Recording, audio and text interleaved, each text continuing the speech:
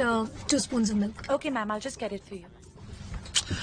अच्छा हुआ तुमने चाय नहीं कहा पता है किस किस्म की लड़कियाँ चाय पीती है मेरी माँ चाय पीती है करेक्ट यही तुम्हें कहने वाला था कि यह चाय पुरानी